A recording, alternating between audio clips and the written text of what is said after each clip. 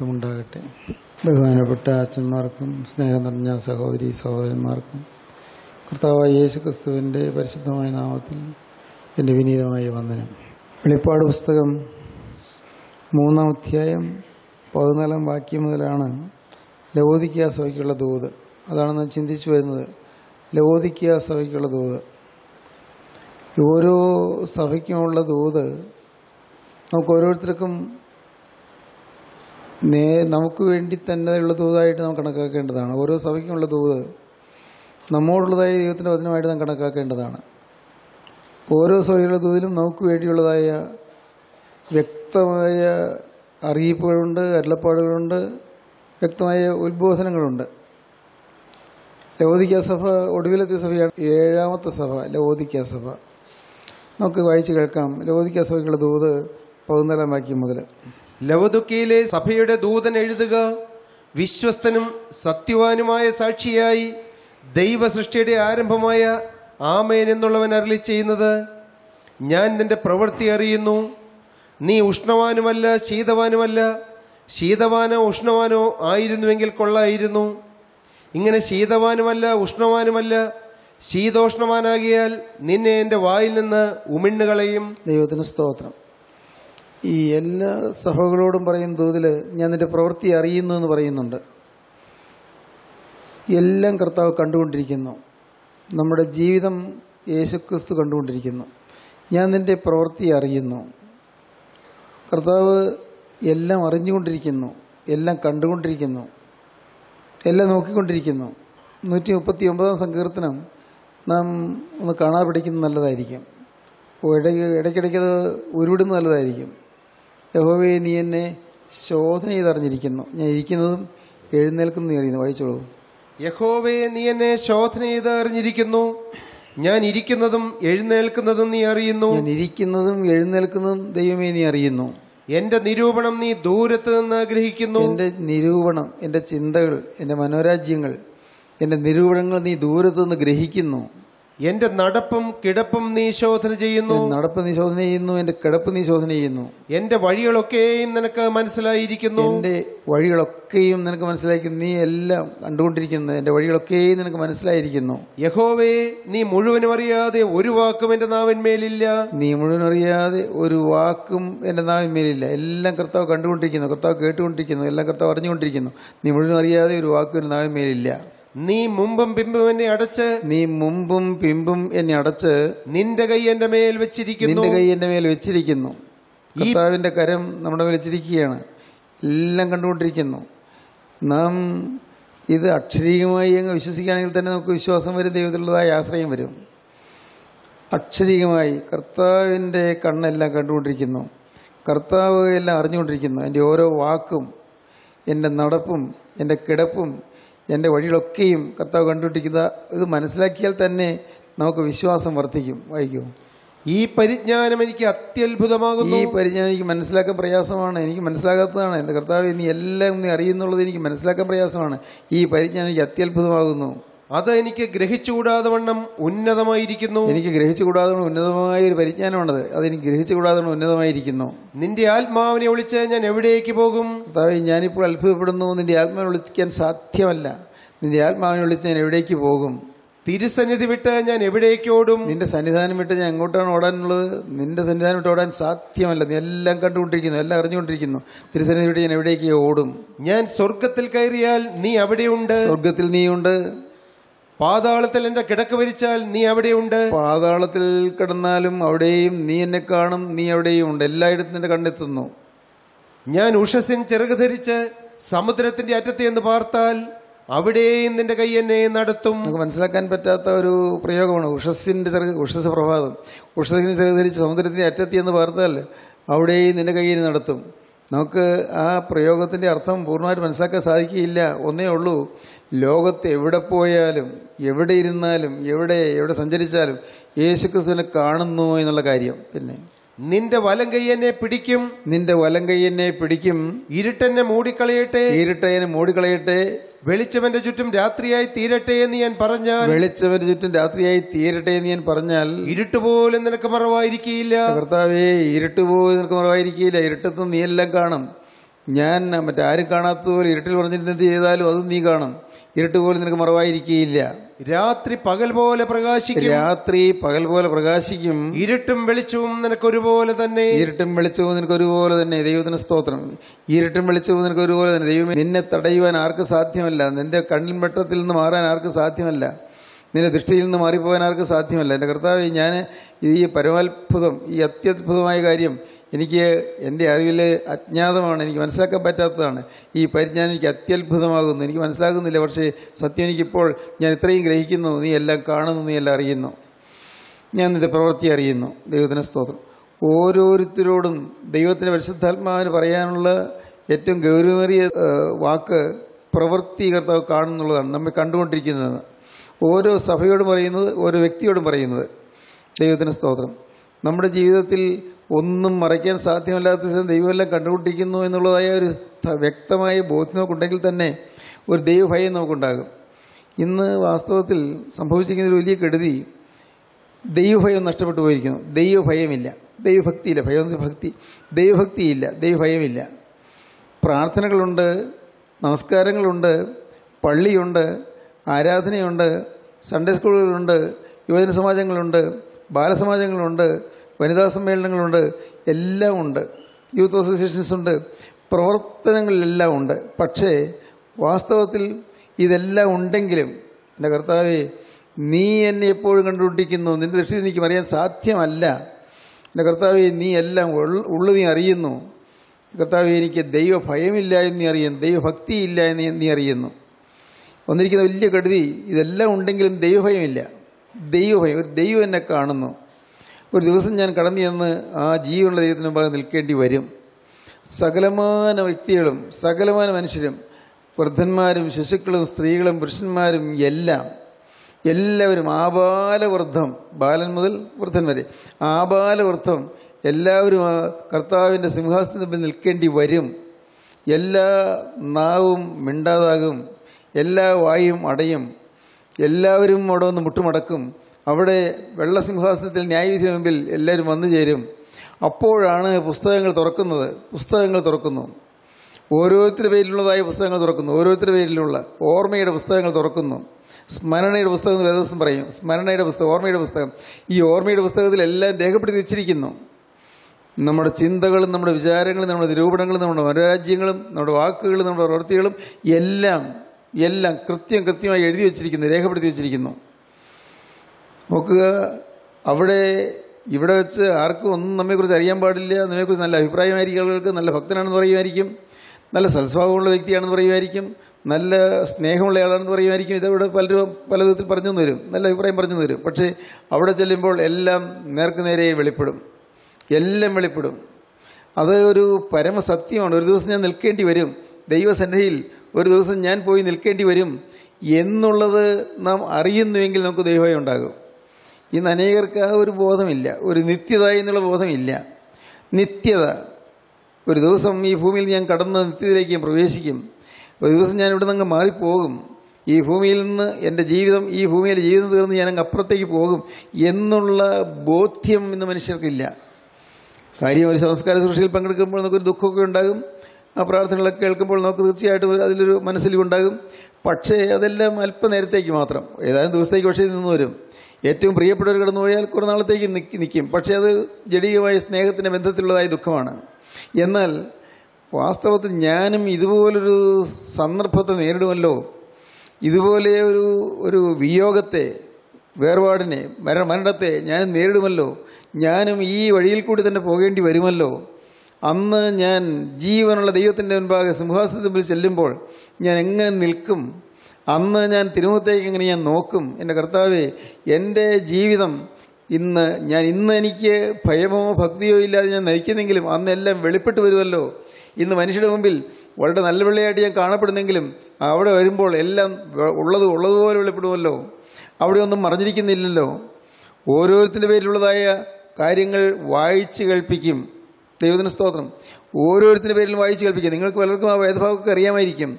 ഓരോരുത്തരുടെ പേരിലുള്ള ഓർമ്മയുടെ പുസ്തകത്തിലുള്ളതെല്ലാം വായിച്ച് കൽപ്പിക്കുന്ന ദിവസം വരും. ആപാലവൃദ്ധം സകലമാന മനുഷ്യരും അവിടെ വന്നുകൂടും അവിടെ ജാതിഭേദമില്ല അവിടെ മതഭേദമില്ല സമുദായ ഭേദമില്ല സഭാഭേദമില്ല. തനിയിരുന്നോ ദരിദ്രനോ ഭേദമില്ല. എല്ലാവരും അവിടെ വരും. ന്യായാസനത്തിന് മുമ്പാകെ നീതി സിംഹാസനത്തിന് മുമ്പാകെ ചെല്ലും. ദൈവത്തിന് സ്തോത്രം. ആ ഭാഗം ഒന്ന് വായിക്കാൻ നമുക്ക്. വെളിപ്പാട് ഇരുപതാം അധ്യായത്തിന്റെ ലാസ്റ്റ് പാരഗ്രാഫ് പതിനൊന്നാം വാക്യം മുതൽ ഞാൻ വലിയൊരു വെള്ളസിംഹാസനവും അതിലൊരുത്തൻ ഇരിക്കുന്നതും കണ്ടു. വലിയൊരു വെള്ളസിംഹാസനം അപ്പോസനം കാണുകയാണ്. വെളിപ്പാട് പുസ്തകത്തിൽ അനേക കാര്യം വരാതിരിക്കുന്ന കാര്യങ്ങൾ അപ്പോസനം കാണുന്ന കൂട്ടത്തിൽ അവസാന സമയത്ത് എടുത്തപ്പോൾ അപ്പോസനം കാണുന്നത് ഞാൻ വലിയൊരു വെള്ളസിംഹാസനം കണ്ടു അതിന്മേൽ ഒരുത്തൻ ഇരിക്കുന്നതും കണ്ടു. അവന്റെ സന്നിധിയിൽ നിന്ന് ഭൂമിയും ആകാശവും ഓടിപ്പോയി. ആ ജീവനുള്ള ദൈവമാണ് ഇരിക്കുന്നത്. ദൈവത്തിന്റെ സന്നിധിയിൽ നിന്ന് ഭൂമിയുമില്ല ആകാശവുമില്ല എല്ലാം മാറിപ്പോയി. ഭൂമി ആകാശം ഓടിപ്പോയി. അവയെ പിന്നെ കണ്ടില്ല. ഈ ഇന്നത്തെ ഭൂമിയെയും ആകാശത്തെയും പിന്നെ കാണുന്നേയില്ല മരിച്ചവർ ആബാലവൃത്തം സിംഹാസനത്തിന് മുമ്പിൽ നിൽക്കുന്നതും കണ്ടു. മരിച്ചുപോയവര് വാങ്ങിപ്പോയവര് ആ ബാലവൃദ്ധം ബാലൻ മുതൽ വൃദ്ധൻ വരെ സിംഹാസനം നിൽക്കുന്നത് ഞാൻ കണ്ടു.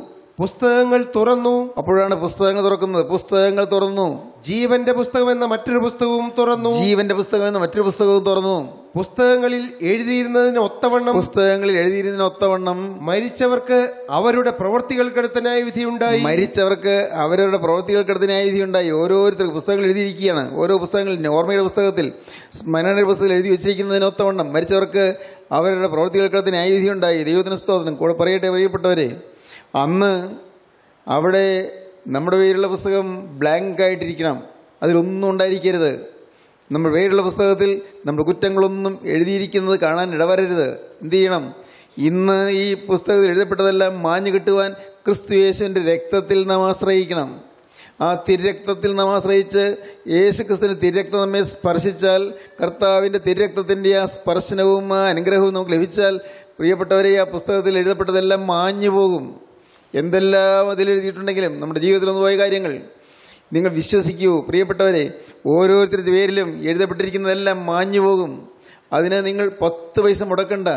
നിങ്ങൾ അതിന് നിങ്ങൾ സഭ മാറണ്ട. വ്യക്തമായിട്ട് പറയുന്നത് നിങ്ങൾ അതിനു വേണ്ടി ചെയ്യേണ്ടത് മറ്റു ഒറ്റയ്ക്കൊരു കാര്യം മാത്രമേ ഉള്ളൂ. പുസ്തകങ്ങളിലുള്ളതെല്ലാം മാഞ്ഞു പോകുവാൻ നിങ്ങൾ ചെയ്യേണ്ടത് കർത്താവായ യേശു ക്രിസ്തുവിന്റെ തിരക്തത്തിൽ നിങ്ങൾ വിശ്വസിച്ച് അനുസരിച്ച് ശരണപ്പെടണം. ക്രിസ്തുവിൽ ആശ്രയിക്കണം. കർത്താവേ നീ കുരിശിൽ മരിച്ച് രക്തം ചിന്തിയത് എന്റെ പാപത്തിന് വേണ്ടിയാണെന്ന് ഞാൻ വിശ്വസിക്കുന്നു. എന്റെ പാപത്തിന് പരിഹാരമായി നീ കുരിശിൽ ശിക്ഷ ഏറ്റുവെന്ന് ഞാൻ വിശ്വസിക്കുന്നു. ഞാൻ ഏൽക്കേണ്ട ശിക്ഷയാണ് നീ കുരിശിൽ വഹിച്ചതെന്ന് ഞാൻ വിശ്വസിക്കുന്നു. കർത്താവെ എനിക്ക് ഒന്നേ ഒന്ന് മാത്രം മതി. കർത്താവെ അവിടുന്ന് എന്റെ ജീവിതത്തിൽ നിന്ന് പോയ പാപങ്ങളെല്ലാം നിന്റെ തിരുലാവിനൊഴി രക്തത്താൽ കഴുകിക്കളയണമേ. വന്നുപോയ എല്ലാ തെറ്റുകളും കഴുകിക്കളയണമേ. ഇനിമേൽ പാപമില്ലാതെ ഞാൻ ജീവിക്കുമെന്ന് ഞാൻ നിന്നോട് വാക്ക് പറയുന്നു. എന്റെ സ്വന്തം തീരുമാനം തിരുമുമ്പാകെ അറിയിക്കുകയാണ്. ഈ തീരുമാനം പോലും അപൂർണമാണ്. എന്നാൽ അതും പൂർത്തീകരിക്കാൻ നീ ശക്തനാണെന്ന് ഞാൻ വിശ്വസിക്കുന്നു. കർത്താവെ എന്റെ ജീവിതത്തിൽ നിന്ന് പോയ എല്ലാ പാപങ്ങളും കർത്താവെ നിന്റെ തിരക്തത്താൽ കഴുകിത്തരണമേ എല്ലാം മായിച്ചു തരണമേ എന്ന് പറഞ്ഞ് ജീവിതം കർത്താവിന് സമർപ്പിച്ചാൽ വ്യക്തമായ ഒരു പ്രതിഷ്ഠയെടുത്താൽ വ്യക്തമായ ഒരു സമർപ്പണം എടുത്താൽ പ്രിയപ്പെട്ടവരെ മായിച്ചു കളയും. അകൃത്യങ്ങളൊക്കെയും മായിച്ചു കളയും. ദൈവത്തിന് സ്തോത്രം. അത് നിങ്ങൾക്ക് ഇത് ഇവിടെ സ്ഥിരമായി വചനം കേൾക്കുന്നവർക്ക് അറിയാവുന്ന കാര്യങ്ങളാണ്. മീഘ പ്രവചന പുസ്തകം ഏഴാം അധ്യായം ഏഴാം അധ്യായത്തിന്റെ അവസാന ഭാഗം പതിനെട്ടാം വാക്യം മുതൽ വായിക്കാം. മീഘ ഏഴിന്റെ പതിനെട്ട് മുതൽ. അകൃത്യം ക്ഷമിക്കുകയും അകൃത്യം ക്ഷമിക്കുകയും തന്റെ അവകാശത്തിൽ ശേഷിപ്പുള്ളവരോട് തന്റെ അവകാശത്തിൽ ശേഷിപ്പുള്ളവരോട് തന്റെ പ്രിയപ്പെട്ട ജനത്തോട് അതിക്രമം മോചിക്കുകയും ചെയ്യുന്ന നിന്നോട് സമനായ ദൈവം ആരുള്ളൂ? അതിക്രമം മോചിക്കുകയും ചെയ്യുന്ന നിന്നോട് സമനായ ദൈവം ദൈവമാരുള്ളൂ ദൈവമേ നീ എത്രയോ മഹോന്നതൻ. നീ എത്ര നിസ്തുല സ്നേഹം. എന്റെ കർത്താവെ അകൃത്യം ക്ഷമിക്കുകയും തന്റെ അവകാശത്തിൽ ശേഷിപ്പുള്ളവരോട് അകൃത്യം മോചിക്കുകയും ചെയ്യുന്ന നിന്നോട് സമനായ ദൈവം ആരുള്ളൂ? അവൻ എന്നേക്കും കോപം വെച്ചുകൊള്ളുന്നില്ല. ഈ ദൈവം എന്നേക്കും കോപം വെച്ചുകൊള്ളുന്നില്ല. ദയയിലല്ലോ അവന് പ്രസാദമുള്ളത്. ദയയിലല്ലോ അവന് പ്രസാദമുള്ളത്. അവൻ നമ്മോട് വീണ്ടും കരുണ കാണിക്കും. അവൻ നമ്മോട് വീണ്ടും കരുണ കാണിക്കും. നമ്മുടെ അകൃത്യങ്ങളെ ചവിട്ടിക്കളയും. നമ്മുടെ അകൃത്യങ്ങളെ ചവിട്ടിക്കളയും. എല്ലാ പാവവും കർത്താവ് ചവിട്ടിക്കളയും. അവരുടെ പാപങ്ങളെയൊക്കെയും നീ സമുദ്രത്തിന്റെ ആഴത്തിൽ ഇട്ടുകളയും. ദൈവത്തിന് സ്തോത്രം. ഒരു കാലത്ത് മുങ്ങി വരാതെ സമുദ്രത്തിന്റെ ആഴങ്ങളിലേക്ക് പാവങ്ങളെല്ലാം കർത്താവ് ഇട്ടുകളയും. എല്ലാം ഇട്ടുകളയും എല്ലാ പാവവും പ്രിയപ്പെട്ടവരെ അങ്ങനെ പാവം മാറി നാം സ്വതന്ത്രരായി തരുന്ന എന്തൊരു സൗഭാഗ്യമാണെന്നോ? എല്ലാ പാവവും കർത്താവ് ക്ഷമിച്ചു തന്നു ഉറപ്പ് കിട്ടുക. അതില്ലാതെ ഒരു സെക്കൻഡ് നിങ്ങൾ മുന്നോട്ട് പോകരുത്. ഈ ഉറപ്പ് കിട്ടണം. എന്റെ പാവങ്ങളെല്ലാം കർത്താവ് ഏറ്റെടുത്തു. എന്റെ പാവങ്ങളെല്ലാം കർത്താവ് ക്ഷമിച്ചു തന്നിരിക്കുന്നു. എന്താണ് ആ ഉറപ്പിന് കാരണം? കാരണം ഇനി ഏത് അവസരം വന്നാലും ഞാൻ പാവം ചെയ്യുകയില്ല. പാവത്തിന്റെ ചിന്ത പോലും വരികയില്ല.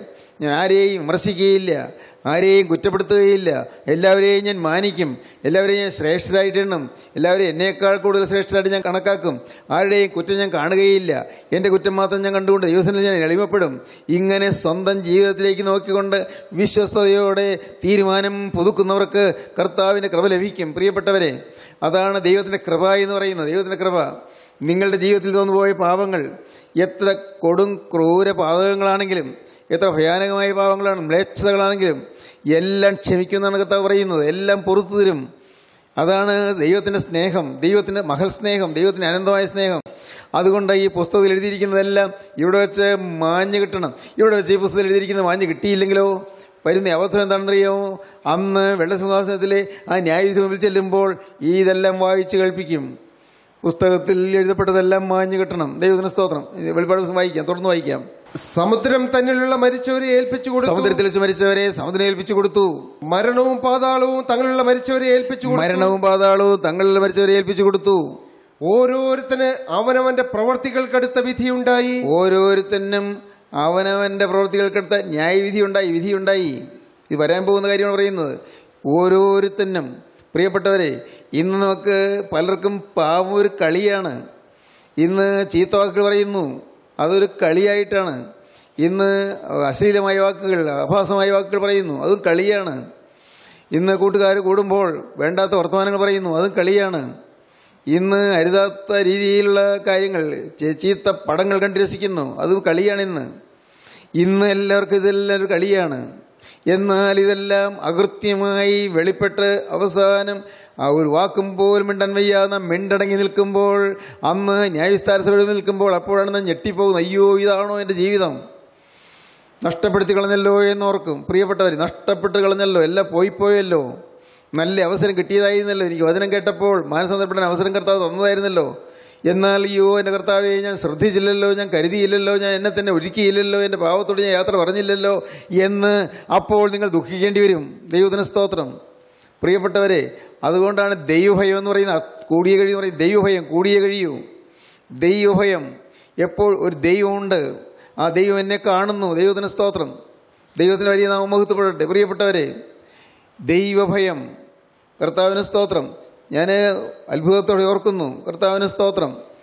ആയിരത്തി തൊള്ളായിരത്തി എഴുപത്തി മൂന്നിൽ ഇവിടെ അനുഗ്രഹീത ദൈവദാസനായി പ്രിയപ്പെട്ട പപ്പ ഇവിടെ വന്ന് പ്രാർത്ഥിച്ചപ്പോൾ അന്ന് പറഞ്ഞു പ്രദേശം മുഴുവൻ മാലാഖമാരെ കൊണ്ട് നിറഞ്ഞിരിക്കുന്നെന്ന്. പിന്നീട് പറഞ്ഞു ഇവിടെ എണ്ണിയൽ കൂടാത്ത പുരുഷാരം ഇവിടെ വന്നിരുന്ന് അനേകായിരങ്ങൾ വരുന്നുവെന്ന്. അന്ന് ഞങ്ങൾ ഏതാണ്ട് ഒരു പത്ത് ഇരുപത്തിരണ്ട് പേരേ ഉള്ളൂ. അത്രയും മാത്രമേ ആളുകളേ ഉള്ളൂ. സുവിശേഷത്തോട് താല്പര്യപ്പെടുന്നു വന്നവർ ഇനി നിങ്ങൾ വർദ്ധിച്ചു ഇപ്പോൾ കാണാൻ പാടില്ലേ? എന്തുമാത്രം ആളുകളാണ് വരുന്നത്? എന്തുകൊണ്ട്? അന്നേ ദൈവം കണ്ടു. അത്രയും വർഷങ്ങൾക്ക് മുമ്പേ ദൈവം കണ്ടു. കർത്താവിന് സ്തോത്രം. ഒരു മുപ്പത്തിയാറ് വർഷം മുൻപ് കർത്താവ് പറഞ്ഞിരുന്ന അന്ന് ഞങ്ങൾക്ക് കിട്ടിയ ഒരു ആത്മീയമായ എരളപ്പാട് വെളിപ്പാട് അന്ന് കിട്ടിയത്. അത് ഞാൻ ഇന്നാണ് ഞാൻ പറയുന്നില്ല. അന്ന് കിട്ടിയ വെളിപ്പാട് അക്ഷരീയമായി നിറവേറുന്നത് രണ്ടായിരത്തി പതിനൊന്നിൽ നിന്ന് നേരിട്ട് കണ്ടു. ദൈവത്തിന് സ്തോത്രം. അക്ഷരീയമായി നിറവേറുന്നു. ഓരോന്നോരോന്ന് ദൈവം എല്ലാം കാണുന്നുണ്ട് മുൻകൂട്ടി കാണുന്നുണ്ട്. ഇന്ന് ഞാൻ ചിന്തിക്കുകയായിരുന്നു ഇന്ന് ഇന്ന് ഞാൻ ഇവിടെ ഇരിക്കുന്നു. പക്ഷേ ഇന്ന് ഞാൻ ഇവിടെ ഇരിക്കുന്നത് കർത്താവ് കാണുന്നു. പക്ഷേ കർത്താവ് കാണുന്നത് ഇനിയും വർഷങ്ങൾക്ക് ശേഷമുള്ളതായ ഈ സ്ഥലത്തിന്റെയോ അല്ലെങ്കിൽ ഈ പ്രാർത്ഥനാലയത്തിന്റെയോ അതല്ലെങ്കിൽ ഈ ഈ ദേശത്തിന്റെയോ അവസ്ഥകൾ കർത്താവ് മുൻകൂട്ടി കാണുന്നു. എല്ലാം കർത്താവ് കാണുന്നു. എന്റെയും അവസ്ഥ കർത്താവ് മുൻകൂട്ടി കാണുന്നു. നിങ്ങളുടെ ഓരോരുത്തരെയും അവസ്ഥ കർത്താവ് മുൻകൂട്ടി കാണുന്നു. എല്ലാം കാണുന്നൊരു ദൈവം അവിടുത്തെ കണ്ണുമുമ്പിലൊന്നും മറിഞ്ഞിരിക്കുന്നില്ല. സഹോദരങ്ങളെ ഈ ദൈവഭയം നമുക്ക് ആവശ്യമാണ്. ദൈവഭയം വേണം. ദൈവഭയം ഉണ്ടെങ്കിൽ കുട്ടികൾ കഞ്ചാവിന്റെ പുറകെ പോവുകയില്ല. ദൈവഭയമുണ്ടെങ്കിൽ ആളുകൾ മദ്യത്തിന് പിന്നാലെ പോവുകയില്ല. ദൈവഭയമുണ്ടെങ്കിൽ വൃത്തികെട്ട ജീവിതം നയിക്കാൻ ആരും തയ്യാറാവുകയില്ല. ദൈവഭയമുണ്ടെങ്കിൽ മ്ലേച്ഛതയുടെ ജീവിതത്തോട് യാത്ര പറയും. ദൈവഭയമുണ്ടെങ്കിൽ വഴക്കും പിണക്കും ഉണ്ടാവുകയില്ല. എല്ലാം ക്ഷമിക്കാൻ സാധിക്കും. എല്ലാം സഹിക്കാൻ സാധിക്കും. എല്ലാം ഏറ്റെടുക്കാൻ സാധിക്കും. എല്ലാ പ്രയാസങ്ങളും ഏറ്റെടുക്കാൻ സാധിക്കും. ഒന്നിനും ഭാരമില്ല. എല്ലാം മനസ്സെപ്പോഴും സ്വതന്ത്രമാണ്. ഹൃദയം എപ്പോഴും സ്വതന്ത്രമാണ്. പ്രിയപ്പെട്ടവരെ ഇപ്പോൾ നിങ്ങൾ ചിന്തിച്ചു നോക്കൂ നിങ്ങളുടെ പലരുടെയും ജീവിതത്തിൽ സ്വാതന്ത്ര്യമില്ല. അനേകം ആകുലങ്ങൾ നിങ്ങളെ ബന്ധിച്ചിട്ടിരിക്കുന്നു അനേകം ആകുലങ്ങൾ. പ്രാവിന്റെ കാൽ ഒരു ഒരു ചെറിയ കുറ്റിയിൽ കെട്ടിയിട്ടിട്ട് പ്രാവിനെ പറത്തിവിടാൻ നോക്കിയാൽ ചിറകടിക്കും പക്ഷേ പ്രാവ് പറക്കുകയില്ല. എന്നതുപോലെ ഇന്ന് കെട്ടിയിട്ടിരിക്കുകയാണ് പലതിലേക്കും കെട്ടിയിട്ടിരിക്കുകയാണ്. ചരടുണ്ട് പലർക്കും പല ചരടുകളുണ്ട് പല ബന്ധനങ്ങളുണ്ട്. ആ ബന്ധനം വെച്ചുകൊണ്ട് പറക്കാൻ പറ്റുന്നില്ല. ഈ ലോകത്തോടാണ് ബന്ധനം. ഒരുപക്ഷെ നിങ്ങൾ മദ്യപാനം ചെയ്യുന്നില്ല അല്ലെങ്കിൽ നിങ്ങൾ കൊള്ളരാത്ത ജീവിതം നയിക്കുന്നില്ല അല്ലെങ്കിൽ വൃത്തികെട്ട വടങ്ങൾ കാണുന്നില്ല അല്ലെങ്കിൽ നിങ്ങൾ അഴുക്കായ കാര്യങ്ങളിലേക്ക് ഇടപെടുന്നില്ല. ശരി. എന്നാലും ലോകത്തോട് കെട്ടിയിട്ടിരിക്കുന്നു. ലോകത്തോട് വ്യക്തമായി പറയാം. ലോകസ്നേഹം ഇന്ന് അനേകരെ ബന്ധിച്ചിട്ടിരിക്കുകയാണ് ലോകം. ഹൃദയത്തിൽ നിറയെ ലോകത്തിലെ കാര്യങ്ങളാണ്. ലോകത്തിന്റെ ബഹുമതിയാണ്. ലോകത്തിന്റെ അംഗീകാരമാണ്. ലോകമനുഷ്യരുടെ പ്രീതിയാണ്. അയ്യോ ആ യോഗത്തിന് പോയാൽ വള്ളിൽ അച്ഛൻ പറയും യോഗത്തിന് പോയാൽ മെത്രച്ചൻ എന്ത് പറയും ഇതൊക്കെയാണ് പലരുടെയും പേടി. മനുഷ്യരെ പേടിക്കുന്നു ലോകത്തെ പേടിക്കുന്നു. ആളുകളുടെ മുമ്പിൽ എനിക്കുള്ളതായ സ്ഥാനം പോവുകയില്ലേ?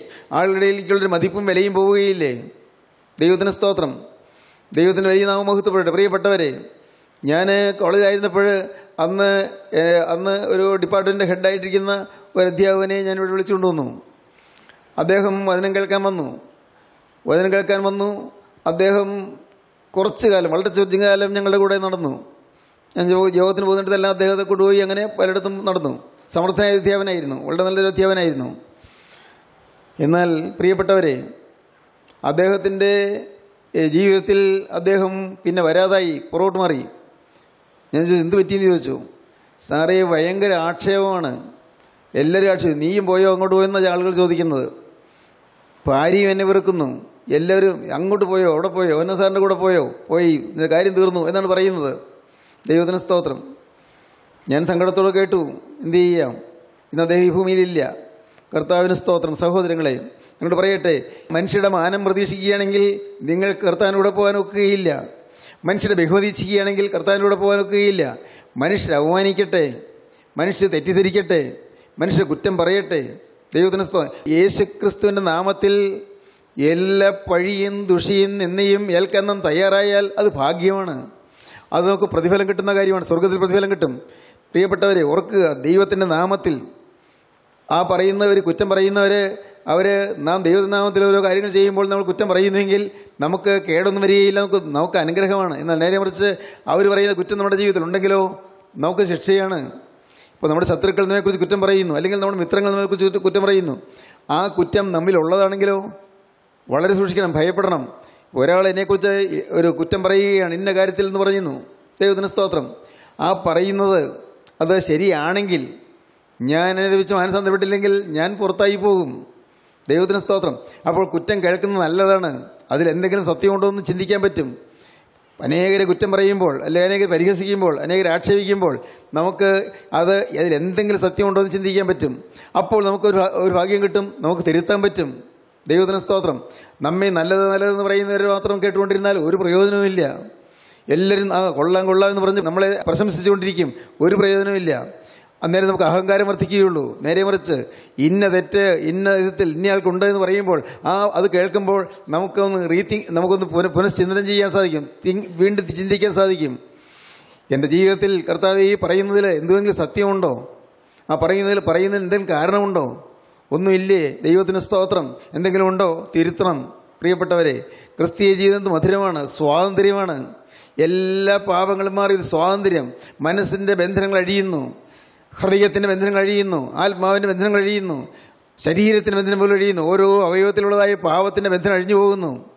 കണ്ണിൽ പാവമുണ്ട് ചീത്ത പടങ്ങൾ കണ്ട പാവം അശുദ്ധ ചിത്രങ്ങൾ കണ്ട പാവം കയ്യിൽ പാവമുണ്ട് ഹരിതാത്ത് ചെയ്ത പാവം നമ്മുടെ നാവിൽ പാവമുണ്ട് പ്രാഗിയത് ചീത്ത വാക്ക് പറഞ്ഞത് ദൂഷിച്ചത് വൈരാഗ്യത്തോടെ സംസാരിച്ചത് വഴക്ക് പറഞ്ഞത് എല്ലാം എല്ലാം അങ്ങനെ അനേകം പാവങ്ങൾ നാവിൽ പാവം ഓരോ അവയവവും. ഈ അവയവങ്ങളെല്ലാം സ്വതന്ത്രമാകണം. ദൈവത്തിന് സ്തോത്രം. എന്റെ സഹോദരങ്ങളെ ഏതൊരു മഹാഭാഗ്യമാണ്. എന്തൊരു സ്വാതന്ത്ര്യം.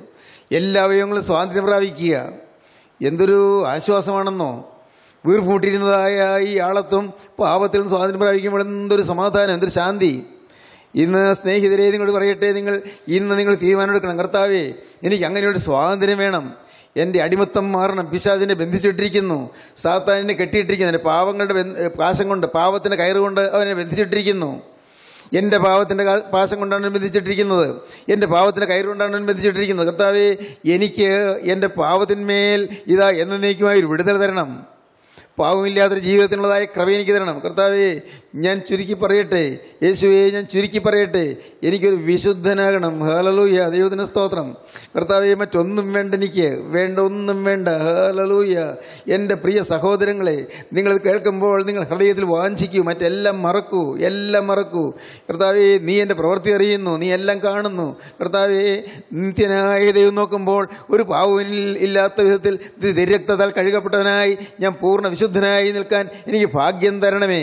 ഞാനോ പാവിയായ മനുഷ്യൻ പക്ഷേ നിന്റെ നിന്റെ തിരക്തം വന്ന് എന്നെ പൊതിയണമേ തിരക്തം വന്ന് എന്നെ മൂടണമേ. ആ തിരരക്തത്തിന്റെ പാവങ്ങളെല്ലാം മൂടപ്പെട്ടു പോകണമേ. ഹാലലോയ ദൈവത്തിന് സ്തോത്രം. ഇന്ന് ഇത് കേട്ടുകൊണ്ടിരിക്കുമ്പോൾ ഇപ്പോൾ തന്നെ നിങ്ങൾക്ക് ദൈവത്തോട് പറയാം കർത്താവേ എന്റെ പാവം എന്നെ നശിപ്പിക്കുന്നതിന് മുൻപ് യേശുവേ പാവം എന്നെ ന്യായവിസ്താരത്തിലേക്ക് കൊണ്ടുപോകുന്നതിന് മുൻപ് എന്റെ പാവത്തെ നീ എന്നിൽ നിന്ന് മാറ്റി തരണമേ തിരക്തത്താൽ എന്നെ കഴുകി തരണമേ. നിന്റെ ക്രൂസിലെ തിരക്തത്താൽ എന്നെ നീ കഴുകണമേ. എന്നെ പാവം ഇല്ലാത്തവനാക്കി സ്വതന്ത്രനാക്കി തീർക്കണമേ. സ്വാതന്ത്ര്യം തരണമേ. ദൈവത്തിന് സ്തോത്രം. സ്വാതന്ത്ര്യം. പാപത്തിൽ നിന്ന് സ്വാതന്ത്ര്യം. എന്റെ കർത്താവിന് വലിയ നാമമഹത്വപ്പെട്ടു ദൈവം നിങ്ങൾക്ക് കൃപ തരും. ദൈവത്തിന് സ്തോത്രം. നിങ്ങൾ വാഞ്ചിക്കുന്നുവെങ്കിൽ വാസ്തവമായി നിങ്ങൾ ആഗ്രഹിക്കുന്നുവെങ്കിൽ നിങ്ങൾക്ക് പാവത്തിന്മേലൊരു ജയം കിട്ടുകയും പാവത്തിൽ നിന്നൊരു സ്വാതന്ത്ര്യം കിട്ടുകയും ചെയ്യും. സ്വതന്ത്രരാകുക ദൈവത്തിന് സ്തോത്രം. നമുക്ക് ഒരുമിച്ച് പ്രാർത്ഥിക്കാം. കാരുണ്യവനായ ഞങ്ങളുടെ സ്വർഗീയ പിതാവേ ഈ മനോഹരമായ സമയത്തിനായി ഞങ്ങൾ നിന്നെ സ്തുതിക്കുന്നു. ഞങ്ങൾ നിന്നെ സ്തോത്രം ചെയ്യുന്നു. അപ്പോൾ ഈ മക്കൾ എല്ലാവരെയും തുടരണമേ അവിടെ അനുഗ്രഹിക്കണമേ. പാവത്തിന്റെ ഭയാനകമായ ബന്ധനത്തിൽ നിന്ന് മോചനം പ്രാപിച്ച് യേശുക്രിസ്തുവിന്റെ സ്വർഗീയ നഗരത്തിന്റെ പൗരത്വം പ്രാപിപ്പാൻ തക്കണേ മക്കൾക്ക് ഭാഗ്യം നൽകണമേ. എല്ലാവരെയും കൃപയിൽ ആശ്രവദിച്ച് പറഞ്ഞയക്കണമേ. അവിടെ രണ്ടാമത്തെ ഒരു രണ്ട് എല്ലാവരെയും ഒരുക്കണമേ. യേശുക്രിസ്തുവിന്റെ മഹത്വപൂർണമായ നാമത്തിൽ പ്രാർത്ഥിക്കുന്നവരോട് കേൾക്കണം പിതാവേ. ആമീൻ. ഹല്ലേലൂയ. ദൈവത്തിന് സ്തോത്രം. Professor M Y Yohannan power vision T വിയിൽ പ്രസംഗിക്കുന്നു. എല്ലാ ദിവസവും രാവിലെ അഞ്ച് മുപ്പതിനും ഉച്ചയ്ക്ക് ഒന്ന് മുപ്പതിനും രാത്രി എട്ട് മുപ്പതിനും ഈ ആശ്വാസ സന്ദേശം നിങ്ങൾ ശ്രദ്ധിച്ചുവല്ലോ. നിങ്ങളുടെ അഭിപ്രായങ്ങളും പ്രാർത്ഥനാ വിഷയങ്ങളും ഞങ്ങളെ എഴുതി അറിയിക്കുമല്ലോ. ഞങ്ങളുടെ വിലാസം professor M Y Yohannan post box number seventeen Kolenchery six eight two three double one phone nine one four two three zero three zero nine six.